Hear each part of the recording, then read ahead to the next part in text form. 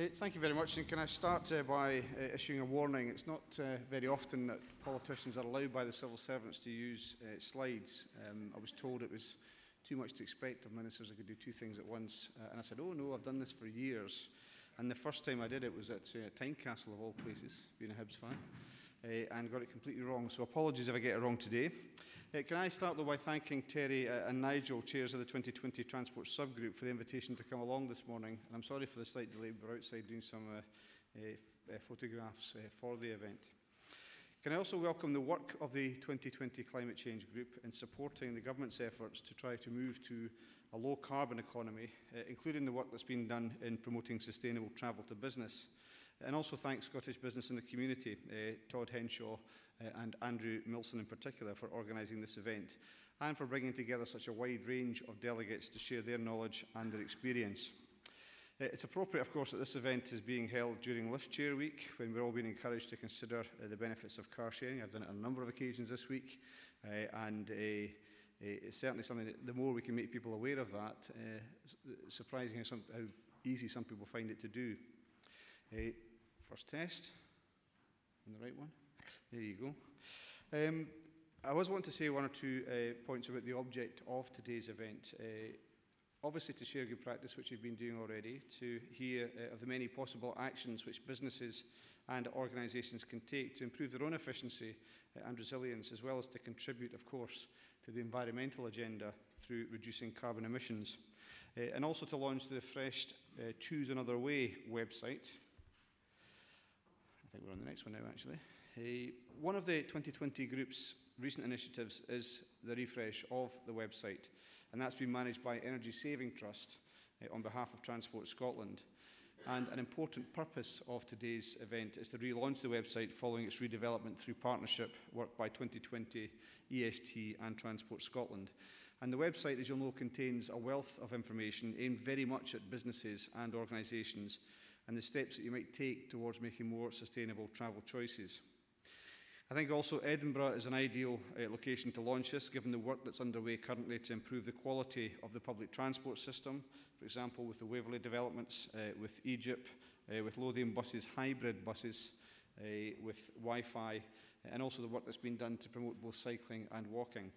And I would thank those that have worked on the website to refresh and encourage you to use it within your organisations. The government itself is committed, as you'll know, to achieving uh, a target of almost total decarbonisation of road transportation by 2050. And that will necessarily involve a wholesale shift uh, to electric and other low-carbon vehicles over the coming decades. It'll be absolutely key to making that, ta that target a reality. And businesses and organisations, I think it stands to reason, have to play their part in reducing carbon emissions and to considering electric vehicles as a viable alternative to the petrol car. I recently had a chance to go to South Lanarkshire Council and drive one of the electric vehicles there. But what struck me most was a transport manager who had been a transport manager for many, many years, and perhaps a few years ago would have been something of a skeptic, but had totally embraced and become an evangelist, in fact, for electric vehicles, because he had seen the benefits that he had in terms of fuel consumption and other benefits for the council. Now, yesterday, I see one or two people here from the meeting that we had of ECOS yesterday. Um, we recognise through that that uh, low-carbon vehicles represent a growing opportunity for the Scottish economy as well, uh, integrated into Scotland's wider expertise in low-carbon technologies and, of course, our vast, extremely vast uh, renewable energy potential. And ECOS, as a partnership, will provide us with the platform to encourage private sector investment in vehicles and in infrastructure uh, and to maximise those opportunities for economic growth. It's one of the other benefits. People do tend to categorise uh, the initiatives on low carbon vehicles as being all about the environment, but of course they're about business and opportunity as well. In 2011, 2010-11 and 2011-12, the government invested around £8 million to allow Scottish councils and their community planning partners uh, to buy low-carbon vehicles and to install, crucially, supportive uh, infrastructure. There are already 270 low-carbon vehicles which have been added to the public sector fleet, and 300 charging posts have been installed. And I know that those figures are a cause uh, for some people to have a go uh, at the initiative because you end up with more charging points. We start off with more charging points and you have vehicles in some cases. But I think a moment or two's thoughts uh, to that people realise you have to have that infrastructure in place before you're going to encourage people on a wider basis to take up the opportunities of electric uh, vehicles. Uh, just last week, I opened three new electric car charging points set up at Edinburgh uh, Napier University campuses. And it's interesting that the extent to which uh, you have to think differently about these things, uh, the opportunities which are presented by uh, electric vehicles, uh, because after that um, event up at Napier, which was co-attended by Renault with some of their cars, Um, it got me to thinking, for example, about the fact that we are investing around 40, uh, 43, 45 million pounds in a new ferry between Ullapool and Stornoway. Now, we do have ferry charging points at either end, but why shouldn't we also have it on the ferry so that vehicles can get charged whilst they're on the ferry as well? So I think the initiatives should lead us, and this was very much the import of yesterday's meeting at uh, ECOS, we should start to think differently and across different sectors about how we can best move this forward.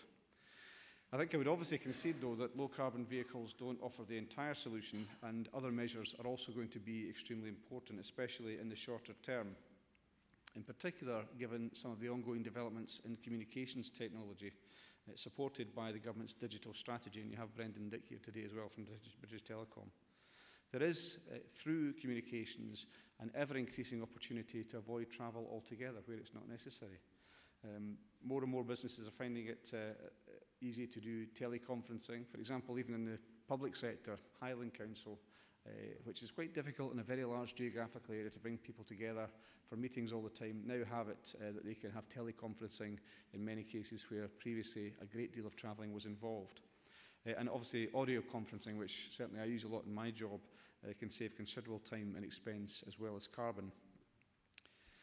Uh, travel to work, commuting Commuting and business travel account for around 30% of the miles travelled annually by each of us. Uh, the car travel still dominates, around 67% of people using the car.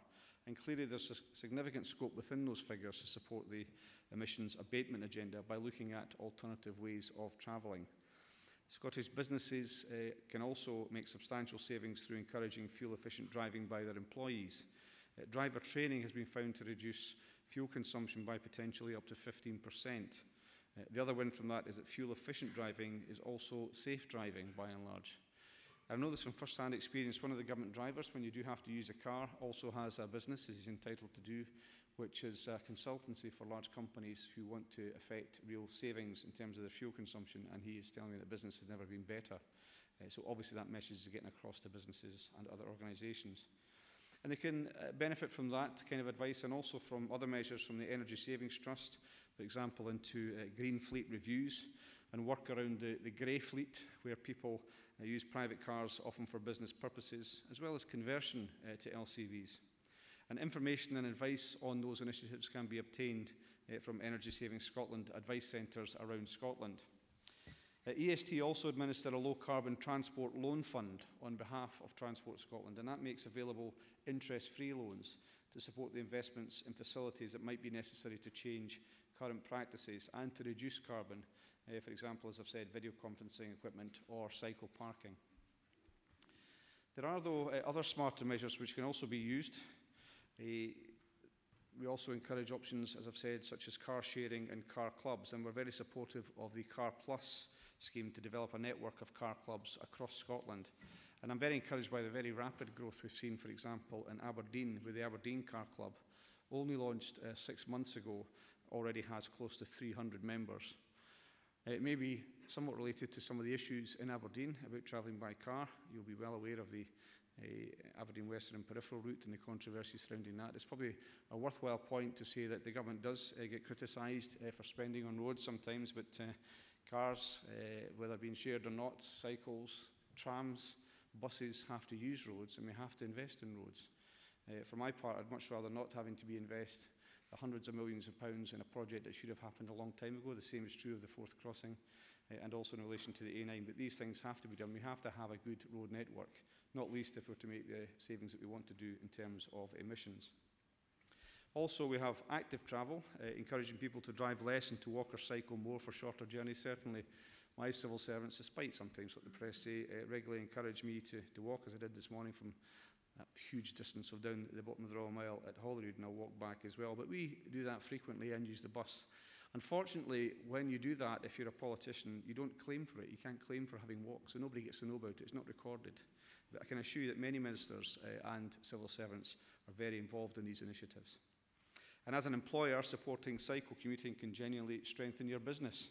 There are well-known health benefits from cycling regularly, with a consequent uh, effect on productivity. I have to say, having done the cycle from Glasgow to Avonbridge, I didn't complete the whole way to Edinburgh. Uh, I, I'm not so sure about the health benefits. I felt terrible afterwards, to be honest. But um, it, obviously, if you do it more regularly, then you will get those health benefits. And there's been a large-scale study in Denmark which found a 28% reduction in death rates for those that cycle commuted for 30 minutes per day. Uh, and a study in Finland noted a 40% drop in diabetes uh, for regular cyclists. We also have the Cycle Friendly Employer Award, which is a scheme developed by Cycling Scotland to support workplaces, and I would encourage businesses to register uh, for that. The government's committed to the uh, ongoing development as well of cycling infrastructure to complement the work around active travel promotion. And as part of uh, John Swinney's eh, uh, 20th of September announcement on the Green Stimulus Package, an additional £6 million was committed across 2012-13 and 2013-14 to deliver further improvements to Scotland's cycling infrastructure. And I'm very pleased to announce today that the famous uh, National Cycle Network route will be upgraded from Barnton Junction here in Edinburgh out to the Forth Road Bridge. Uh, money will also be available for local authorities to improve the cycle route along the A90, an issue which many people have campaigned on for quite some time. In addition, though, we'll be creating more cycle paths uh, in Glasgow in time for the Commonwealth Games, uh, and further routes have been identified for improvements in Dundee, in Kirkcaldy and uh, again in Edinburgh. There will also be an increase, a substantial increase in funding for on-road cycle training for children and for the Give Me Cycle Space campaign through Cycling Scotland. I think the reason why those two things are important, first of all, is we've seen a real uh, uptake in terms of recreational cycling, not least through the Olympics, and also Chris Hoy himself has been a huge, um, a huge role model for people in taking up recreational cycling. But What we haven't done as well as uh, in relation to the uh, commuting cycling. So we have to try and improve the cycle networks that will allow people to go to and from their place of work, uh, uh, uh, whereas previously they've used cars. And the second point about the education side of it, I think it's very important that we do tackle the fears which parents have in relation to their children using cycles on the road. Uh, training can be given, of course, in the classroom in an off-road environment, but I think it's really important to parents to know that their children have an experience of being on the road and the pressures which that can bring. Uh, and so that's why I think that's very important to increase the funding for on-road cycle training. Just to conclude, there is a great deal I think you'll know better than me, I'm sure, that businesses and organisations can do to support the sustainable transport uh, initiatives I've mentioned and also to improve their own efficiency at the same time, uh, as well as their resilience and also to get the health benefits which I've mentioned for their employees and their local communities through promoting active travel. Uh, I understand that later on today in the programme you'll hear a video presentation from Transport for London on their work around business travel during the Olympics and its impact. Uh, and I think that will offer uh, real food for thought for businesses in Scotland to do likewise, not least when we host the Commonwealth Games in 2014. uh, with initiatives such as Choose Another Way, offering support to improve business efficiency uh, and resilience as well as uh, emissions abatement. So I hope they'll take a, a great deal away from the various case studies you'll hear about this morning and, where possible, apply them in your own organisations to achieve both better business outcomes and better carbon savings. The most crucial aspect of these things, there's many initiatives going on from many different partner organisations across Scotland in relation to active travel and low carbon uh, emission initiatives. But the most crucial thing really is the cultural change, that people start to think differently about this. And that takes a bit of time, there's no question of that. But once you've made that change, it becomes the most natural thing in the world. And we'll all benefit greatly if we can succeed in meeting those targets, which I mentioned earlier on. So thank you very much for the invitation to come today, and I hope you enjoy the rest of your conference. Thank you.